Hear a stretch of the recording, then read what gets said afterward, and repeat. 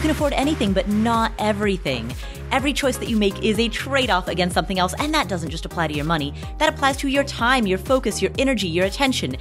Any limited resource that you need to manage. Saying yes to something implicitly means that you're saying no to all other opportunities, and that opens up two questions. First, what matters most? Second, how do you align your decision making around that which matters most? Answering those two questions is a lifetime practice. And that's what this podcast is here to explore and ideally to facilitate, like meaning put it in action.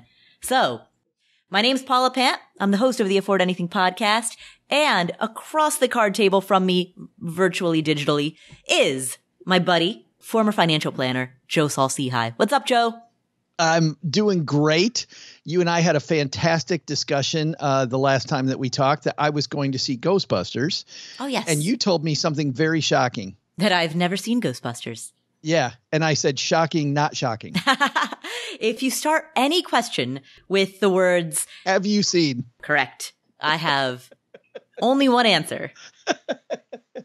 the movies that you assume everyone has seen, I have not seen. Yes and I might get picked on today in one of our one of our uh, questions. Maybe our first question. I'll get picked on a little bit. In today's episode, we are going to be answering four questions that come from two callers.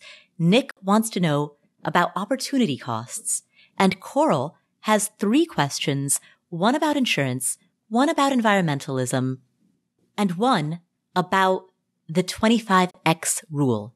We're going to be answering all four of those questions right now, starting with Nick. Hey, Paula. My name is Nick. That's Nick and not Boris or Sven or whatever the hell else Joe is watching on Netflix this week. My name is Nick. Just want to get that out of the way. Anyways, my question is a little bit more existential, I should say. It's uh, how do I counterbalance being systematic and formulaic and making sure that I'm being mathematical about my my future with ensuring that I don't miss out on opportunities or ensuring that I really open myself up to opportunities. I'm really firmly in belief that when you say yes or when you're willing to actually think about things in a positive manner, you're more likely to be successful. However, that can sometimes interrupt or kind of throw a monkey wrench or, or complicate your systems that you already have in place. And I just wonder if there's any sort of ways to think or uh, things that you you use to really kind of counterbalance those things because I'm in a really good place right now where I feel like there's a lot of systems to my life that have really made a huge difference in making things better. But I also don't want to miss out on things that really could be uh, life changing opportunities. Anyways, I really appreciate your show and I look forward to hearing your answer. Thanks so much. Nick, fantastic question.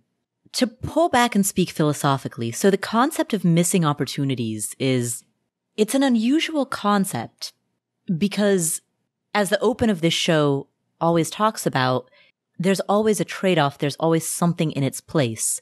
So if you say no to a given opportunity, like for example, if you pass up a trip to Tanzania, there's something else that you do in that time that replaces it and that something might be as seemingly mundane as reading books or playing video games, whatever it is that you do. But unless you're in a coma, there is no missing. You're living one way or the other. And I say that to establish that, you know, so many people talk FOMO, the fear of missing out, but you're not really missing anything. You're replacing. So it's JOMO, like joy of missing out, or really it's Jo Joro, joy of replacing. Jor, joy of replacing is is what it is. But that doesn't answer your question because I get the sense that your question comes from a place of perhaps wanting to do certain things or having been provided the opportunity to do certain things, but having some type of internal scripts that lead you to tell yourself that you can't or that you shouldn't. And I don't know specifically what they are, but maybe you did pass up on a trip to Tanzania or a chance to attend your dream university for grad school or a chance to take a lower paying but much more fun job, whatever it is.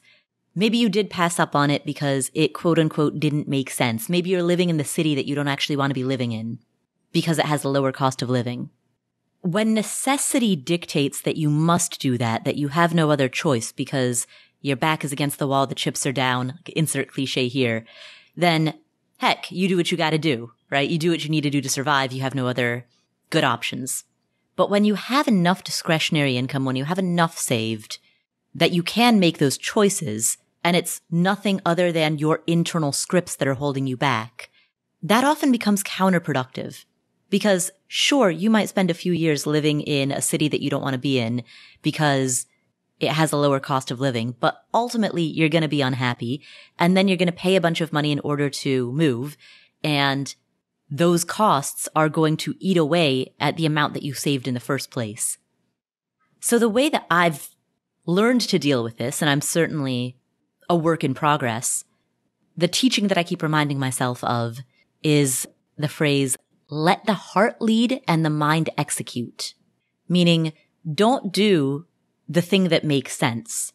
Do the thing that you want to do and then let your mind figure out how to do that thing in the most sensible way. It's the ultimate not letting the tail wag the dog. I love where you're headed there because my thought when I heard what what was his name again? Was it Nick? I think it was Forrest or maybe Sven.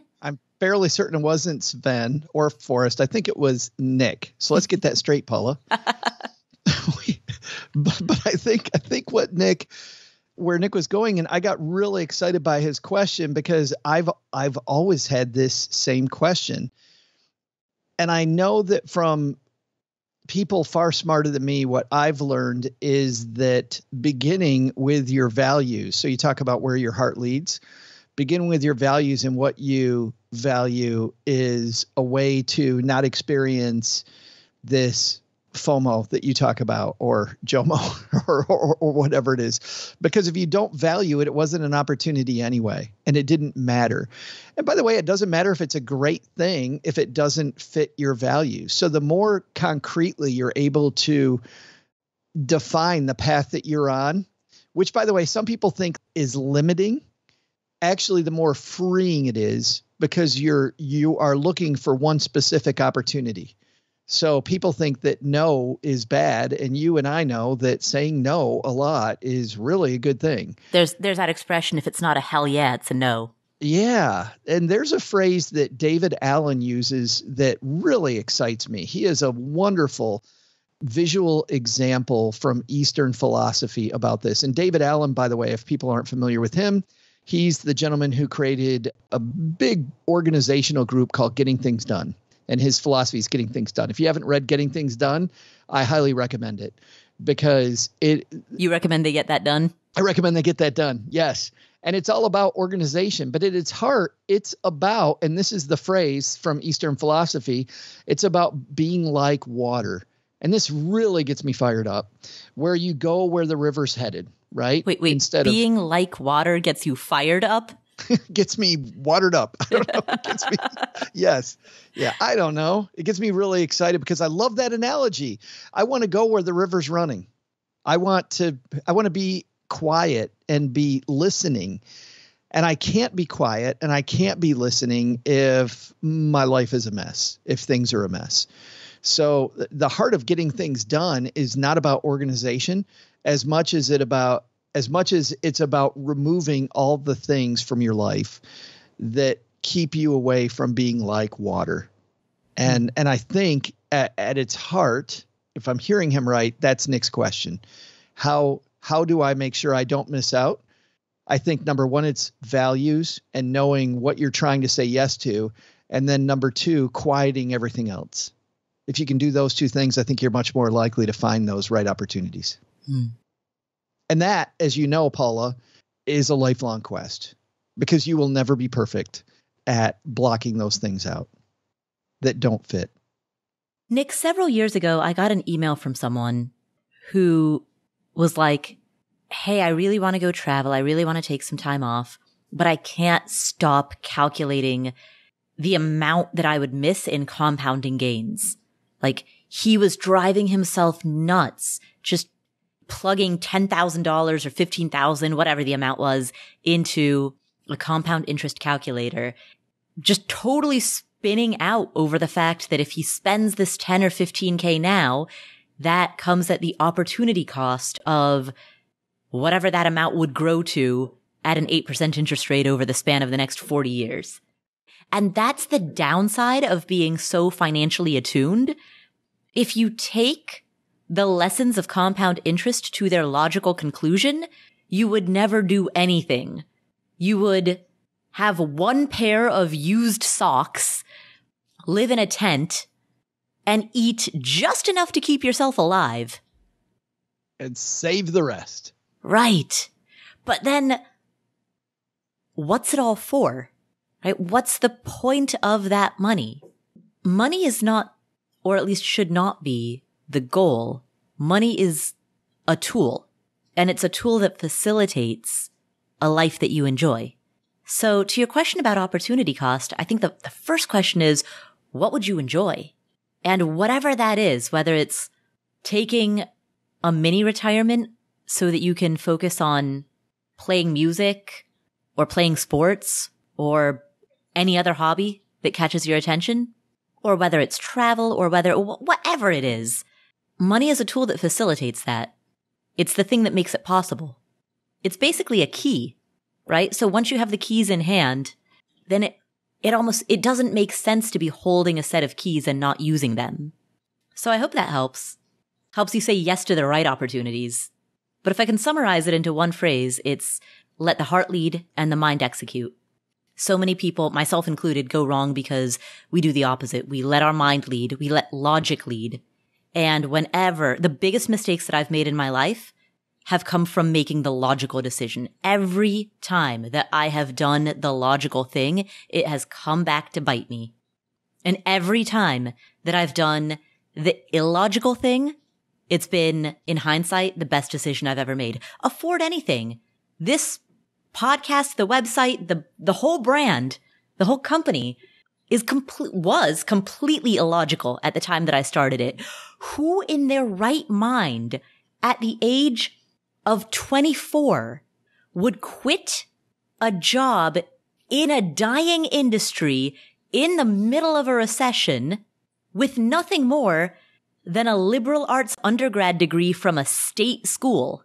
Like I was no one special in a dying industry in a recession. Everyone was like, that doesn't make sense. You're committing career suicide. You're never going to get a job again. Everyone thought I was nuts. It was an absolutely nuts decision.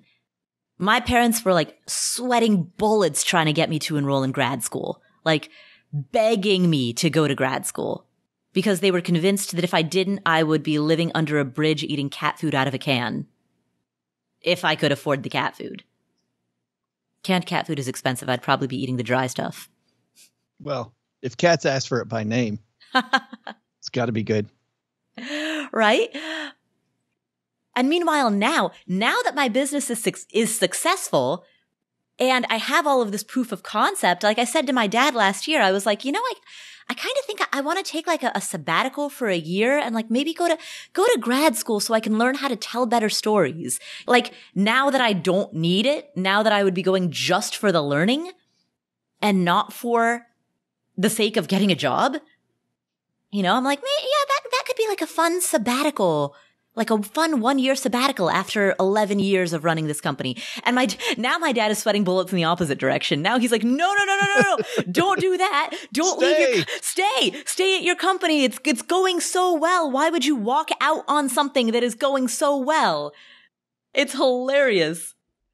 Dad, you're the same person who like 11 years ago was saying the exact opposite.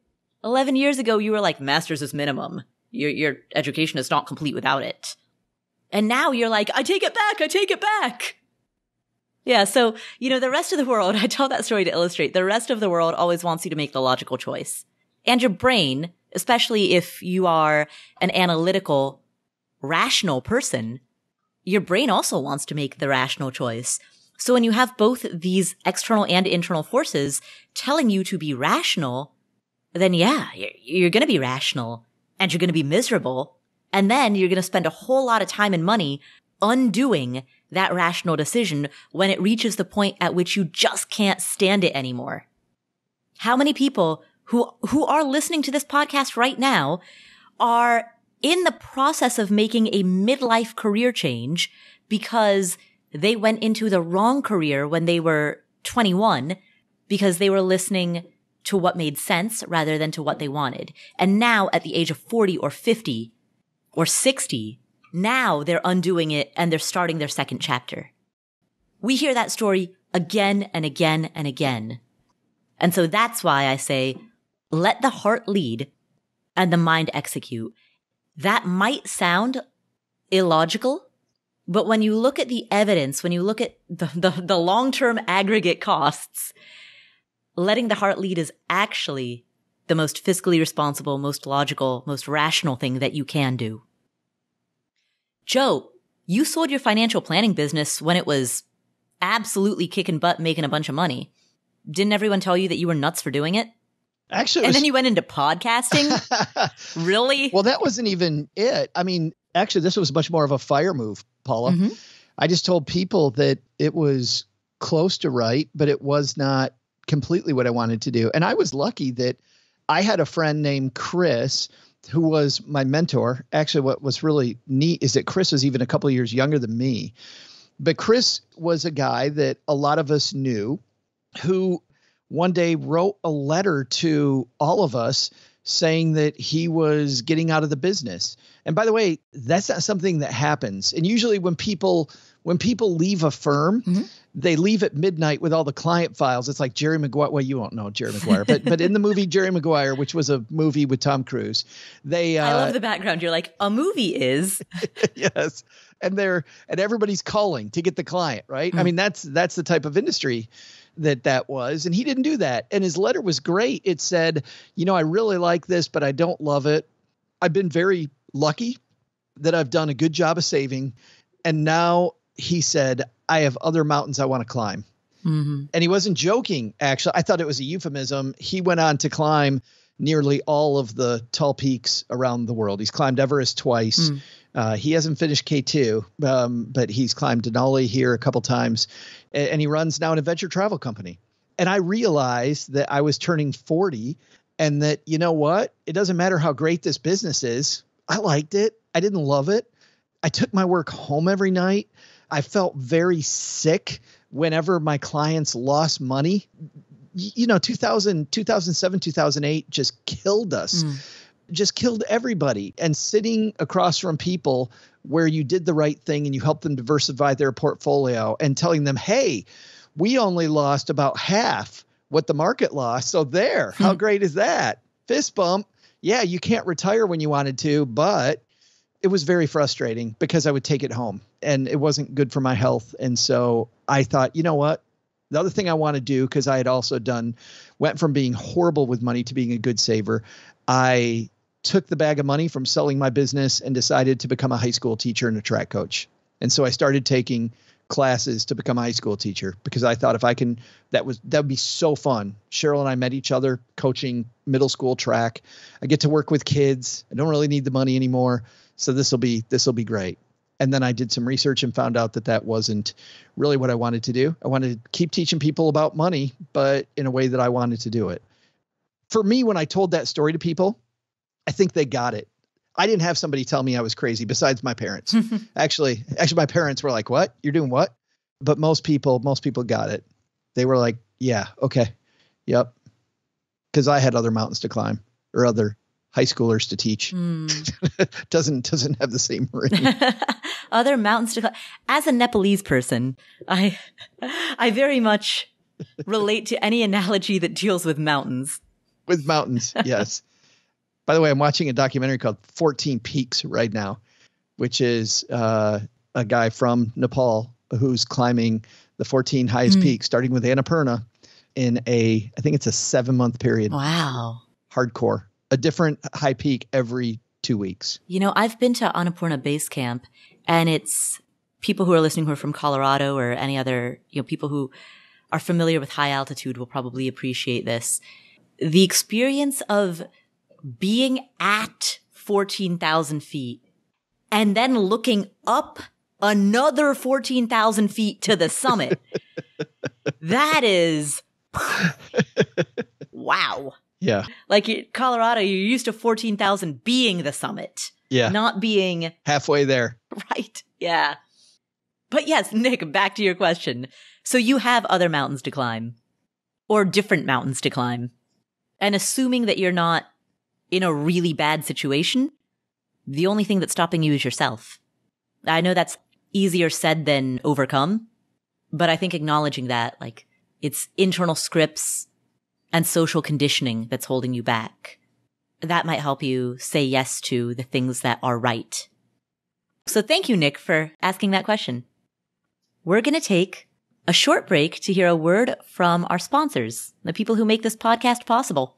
And when we come back, we are going to answer three questions from a member of our community named Coral.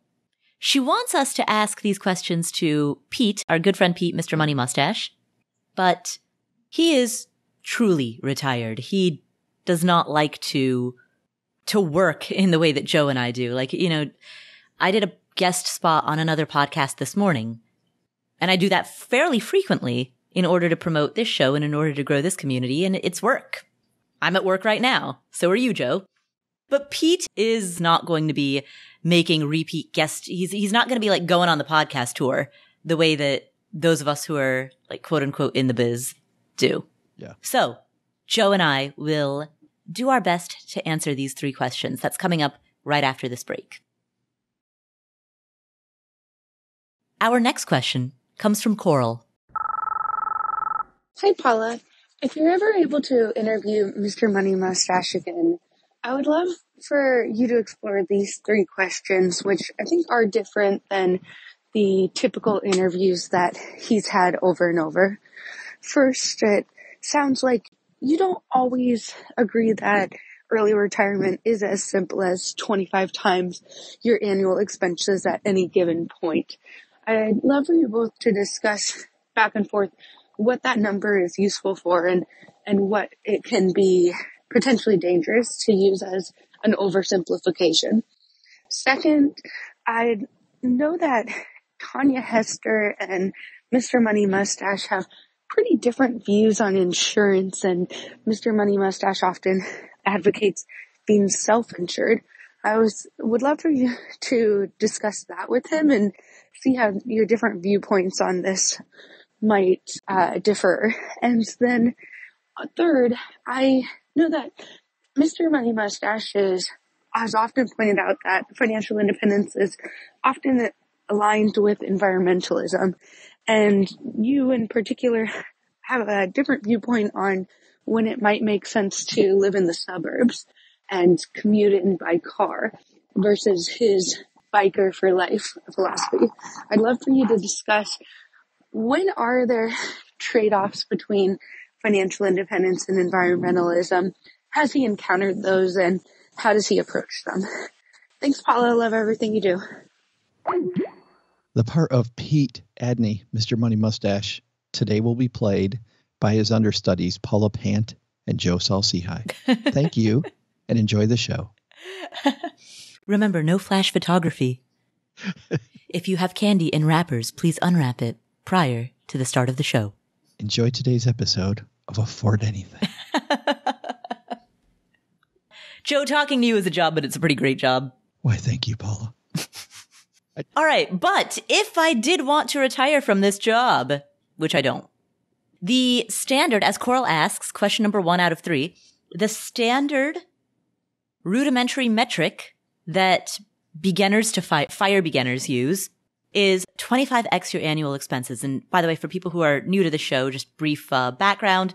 The thinking behind that is that if you take your expenses, let's say that you spend $40,000 per year, multiply that by 25, that's $1 million.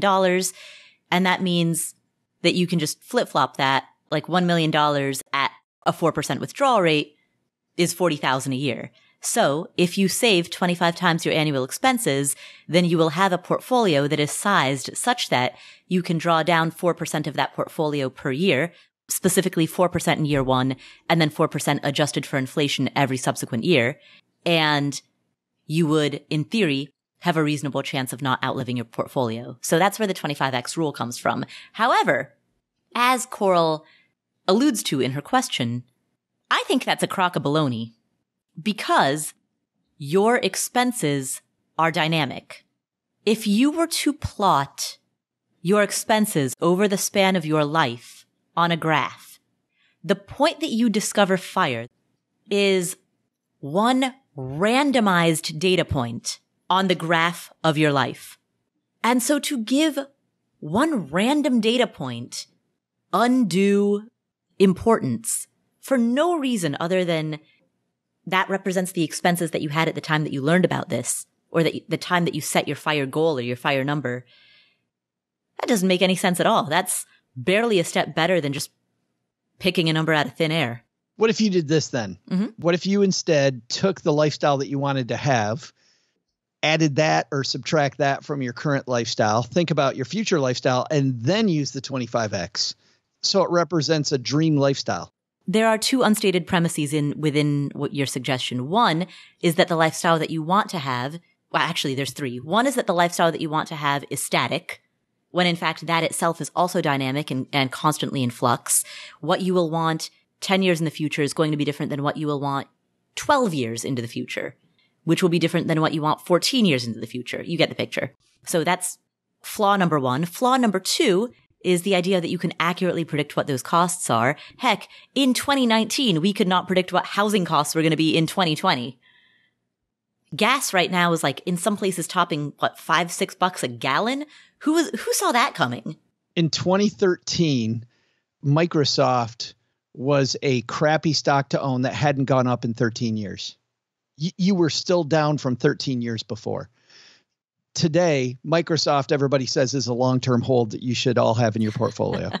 Right. So the idea that we can predict anything about the future such as what prices are and also such as what we ourselves will want because we ourselves are going to be different people in the future. All right flaw number one is that what you want is dynamic. Flaw number two is predicting the cost of what you want is a glorified guessing game and then flaw number three is that that premise also is that this is, this conversation is all centered around wants when in fact needs, like actual needs like medicine. Yeah. Drive a lot of spending and there's no way to predict that either. So I think I think you're absolutely right, but none of this really bothers me. I think you're incredibly right, and I really don't care.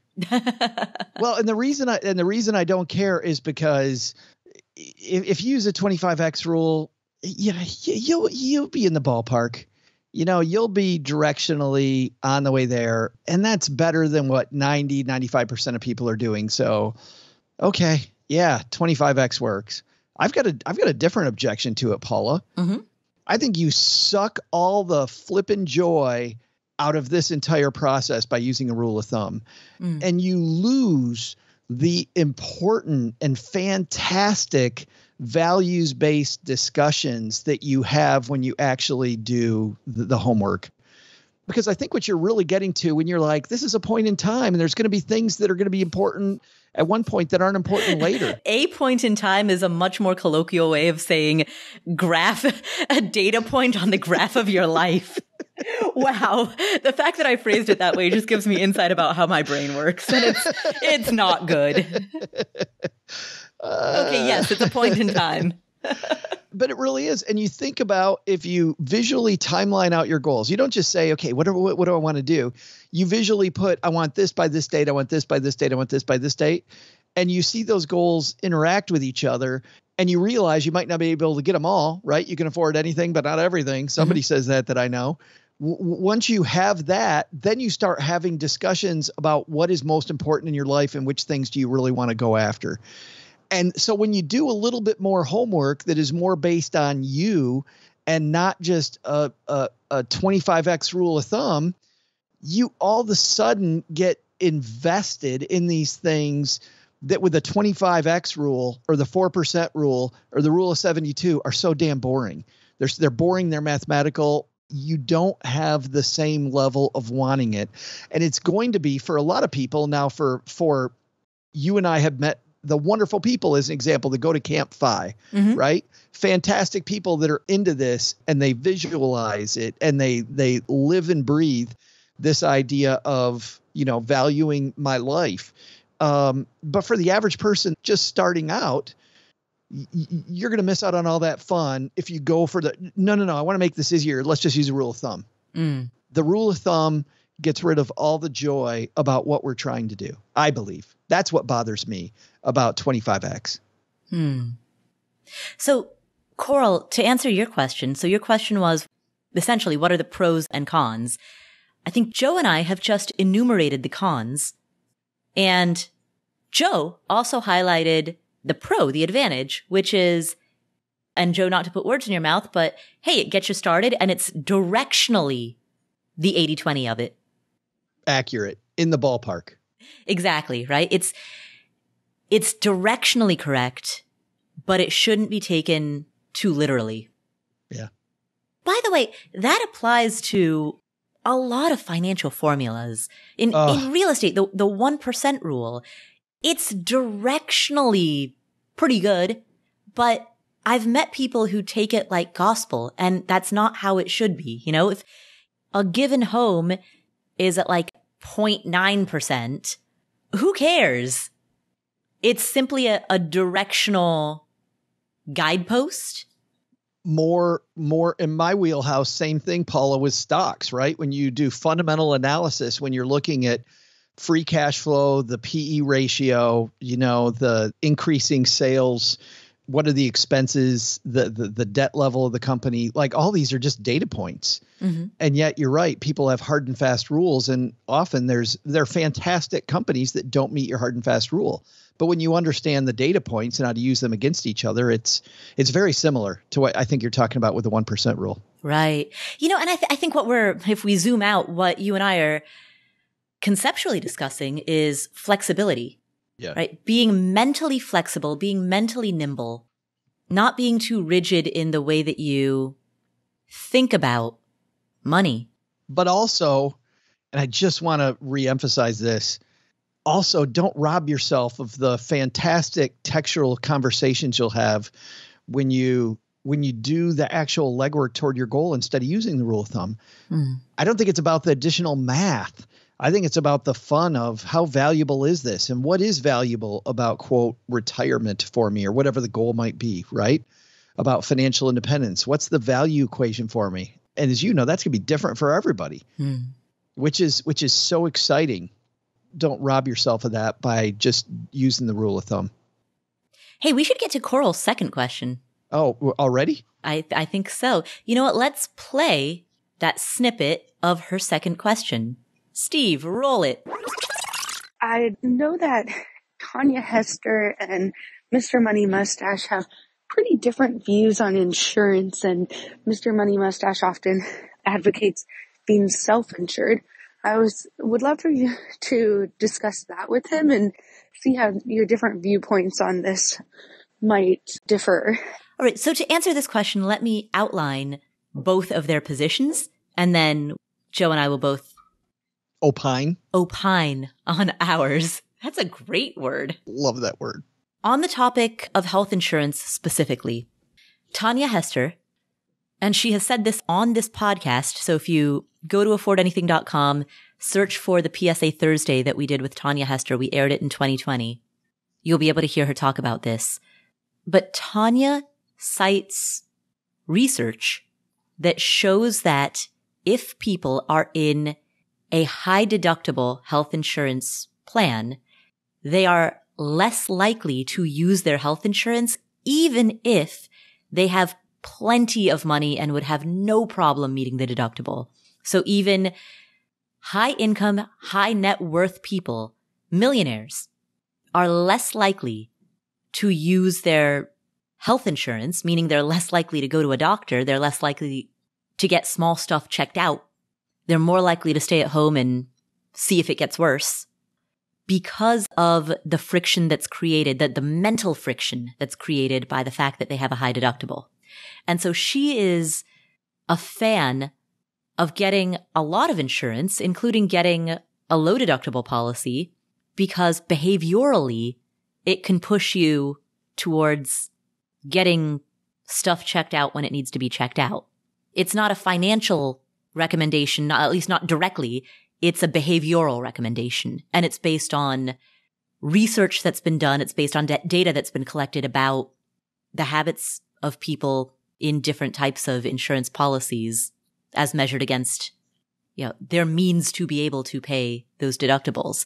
It's not a means issue. It's not a income or net worth issue. It's a behavioral issue. So that's Tanja's position. Now, Pete's position is that insurance is overhead and the less of it that you have to pay for, the better. So if you can have a strong enough portfolio that you'll be able to deal with most big ticket things, then his position is why would you spend a lot of money paying for protection that you don't really need? And, and he takes that to what many people would consider to be an extreme, such as, you know, if your home is paid off, why would you have homeowners insurance? And, and certainly there are many people who would be like, cause your home could catch fire and then you would be out of pocket $500,000. But Pete's position is an extreme level of quote unquote self insurance, meaning that you amass enough money that you don't need to pay another entity for black swan protection. So those are each of their respective positions. Joe, I know you have some thoughts on insurance. What's your take now, now that I've outlined the two ends of the extreme? Yeah. And I think for the average person listening to this, you don't need to be on either extreme, but I think there are some ways to frame this. I think the first thing to to think about is this the conversation around insurance I think is actually flawed. I don't think we should be talking about insurance. I think we should be talking about risk management. I think when we talk about insurance, what we end up having a discussion on is is limited. Should I or shouldn't I uh, buy insurance policies? Where the true question is, if my house were to burn down, what would I do? Right? To use that example that you just brought up, if your house is paid off, I would have homeowners insurance? My question is, your question is, if you if your house burns down, how would you handle it? What would happen? And once you you expand that discussion, you still have Tanja's and Pete's points to consider, but I think you have many other points that you can consider as well. I mean, you can completely design a risk management plan that partially involves insurance and partly involves self coverage. And for both the reasons that they talk about. Why overpay for insurances that you don't need on one hand, and on the other, are you actually going to go to the doctor if you if if you just don't are you going to have regular health maintenance checkups before you're hurt, right? Or before you're sick so that you're sick less often? Will you will you have that annual physical? And data to Tanja's point says that you you won't. So then I think what is my strategy to make sure I remain healthy and make sure that I'm talking to people that know a lot more about being healthy than I do so that I can catch things early, I can prevent things from happening to me like like what is what is my risk management strategy? So overall paula that's that's my thought process. Um, and generally what i've seen from people is that th- their actual exposure to insurance is like a horseshoe. People should begin with a fairly large amount of insurance. They should then deplete the insurance as they increase assets and have a plan that involves other avenues of paying for things. And then when you are uber wealthy and you realize that the cost of the insurance is less than the pit in your stomach that you've left so many things unattended and your wealth would go toward this you realize that the insurance is a small price to pay for the for the value that you get. And that's what i saw as a financial planner Hmm. And by the way, you mentioned annual physical, so I'm just going to say this because I know that if I don't say it, I'm going to get like 12 emails about it. The annual physical is covered by ACA compliant plans, so there isn't an out of pocket expense for that. However, if you're, if you're like me and you've been buying individual insurance since before the ACA, before the Affordable Care Act, there was a time in your life, there's a time in my life when I got billed $600, $700 for an annual physical. And that was at a time in my life when that was a lot of money for me. Sure. And I'm so scarred by that that I've missed even no, even though I know it's it's quote unquote free or no cost to me, even though I know that it's covered, cognitively I know that, I still skip them all the time. Yeah. And, and I shouldn't. I know I Well, shouldn't, but And and Mhm. that is why the wider discussion is more important, I think. yeah. I, I think the wider, what is my risk? And my risk is less if I have that physical. If Mhm. I if if I actually go and do it with insurance, it being covered, I think is a is a much smaller conversation. Is it covered or not? The bigger discussion is no matter who's paying for it, if if I'm looking at risk management, I need to go get that done. Mm. Yeah. Yeah, there's two conversations. There's a risk management conversation and then there's the behavioral compliance conversation because like what you're, you know, I, I like the way that you framed it. The question is, what would I do? Right? That's very much a risk management. What forms of capital do I have? Not just economic capital, but social capital, relationship capital in general. You know, like what are the tools at my disposal? And then the behavioral question is what mot- essentially it's what motivates me, you know, what when there is a disconnect between cognition and behavior, meaning when I know better, but I still don't act in accordance with what I know, i.e., it's not an education or informational issue, it's a compliance issue. What will bridge that behavior gap? So yeah, I think those are the two operative questions. All right, let's get to Coral's third question. I know that Mr. Money Mustache is, has often pointed out that financial independence is often aligned with environmentalism. And you in particular have a different viewpoint on when it might make sense to live in the suburbs and commute in by car versus his biker for life philosophy. I'd love for you to discuss when are there trade-offs between financial independence and environmentalism? Has he encountered those and how does he approach them? I'll tackle that one straight away. No, I don't think there are trade offs. I think that there are many ways to achieve the same objective. And if your objective is to make a positive contribution towards the threat of climate change, then you have to decide, do you want to minimize your impact or do you want to maximize your impact? So there are some people whose strategy is to minimize their footprint and they try to live as small as possible. And there are others who decide that they want to maximize their impact. And so they live a productive life in which they contribute a lot of value to society, receive value in the form of financial capital and in the form of talents, resources, connections. And then they deploy their capital, their resources, their influence, their knowledge, will broadly classify all of that as influence, right? They deploy that influence towards solving this problem. Elon Musk has done more for the environment than some barefoot guy living in the woods ever has or ever will. But that's not to poo poo the, the barefoot guy living in the woods. Like you have to, each individual has a calling. And if you feel strongly that your calling is that remote wooded life, if you were meant to be Henry David Thoreau rather than Elon Musk, well, the world needs Henry David Thoreau's as well. Not to get too Nepalese on you, but we all have our dharma. I'm going to echo what we told Nick because I'm fairly certain his name was Nick, wasn't it? I don't think it was Sven. I think it was Nick. Oh, but he did mention forest, and we just talked about barefoot guy in forest. Barefoot guy in forest. But Named this is Nick. Nick. Yes. But I think Paula, this this begins with values, right? Again, what do you value? And once again, you're not going to have a discussion about your environmental impact with the 25x rule. yeah. Boom. Way to bring it back. Awesome. Well, Coral, thank you so much for all of those questions. Uh, between Nick's questions and Coral's questions, we've had some very philosophical and illuminating questions in today's show. Four questions. Normally it's four people we talk to, but today two people. Well, w- we speak with all of you. Mhm. but we answered four questions as usual. Four questions from two people. Joe, tell us what you're working on. I'm only going to say this because there are big moments in people's lives, and I'm having one today. Not just Paula, because I get to hang out with you, which mm-hmm. is fantastic. Pinch myself.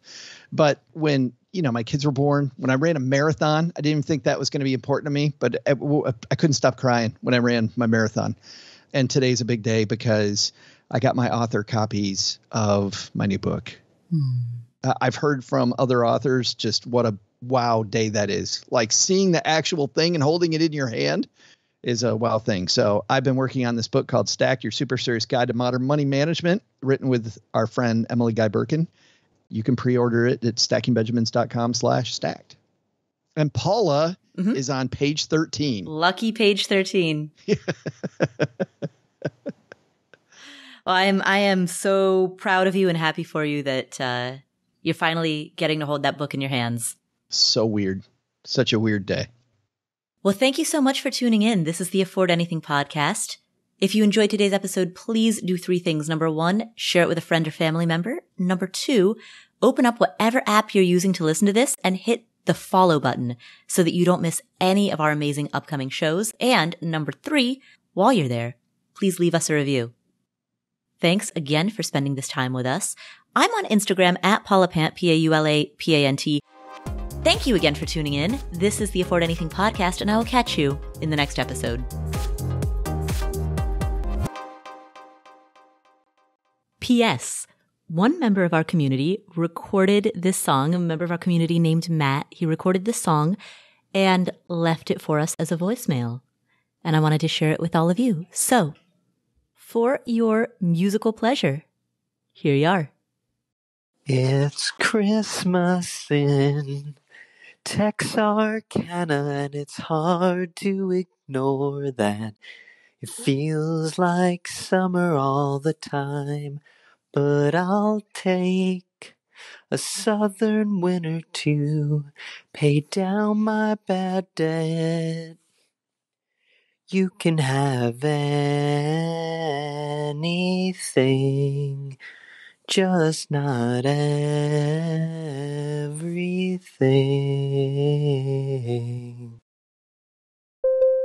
Here is an important disclaimer. There's a distinction between financial media and financial advice. Financial media includes everything that you read on the internet, hear on a podcast, see on social media that relates to finance. All of this is financial media. That includes the Afford Anything podcast, this podcast, as well as everything Afford Anything produces. And financial media is not a regulated industry. There are no licensure requirements. There are no mandatory credentials. There's no oversight board or review board. The financial media, including this show, is fundamentally part of the media. And the media is never a substitute for professional advice. That means anytime you make a financial decision or a tax decision or a business decision, anytime you make any type of decision, you should be consulting with licensed credential experts, including but not limited to attorneys, tax professionals, certified financial planners, or certified financial advisors. Always, always, always consult with them before you make any decision. Never use anything in the financial media, and that includes this show, and that includes everything that I say and do. Never use the financial media as a substitute for actual professional advice. All right, there's your disclaimer. Have a great day. And that, as you know, Paula, is a lifelong quest because you will never be perfect at blocking those things out that don't fit. You know, even people as successful as Bono mm. have struggled with this. I mean, he said publicly, I've climbed the highest mountain mm-hmm. and I've run through the fields only to be with you. And I still haven't found what I'm looking for. Do you know that song? I do know that song. I do know that song. I don't know why. I'm the, even in the musical Avenue Q. The moral of the story is everyone's a little bit unsatisfied. Everyone It's- goes round a little empty inside. He's climbing all these mountains, running through all these fields, and he still hasn't found what he's looking for. So Nick, Steve, cut all of this. cut the whole show. well, the world needs Henry David Thoreau's as well. Not to get too Nepalese on you, but we all have our Dharma. I immediately think of a TV show you haven't seen. oh, Dharma and Greg.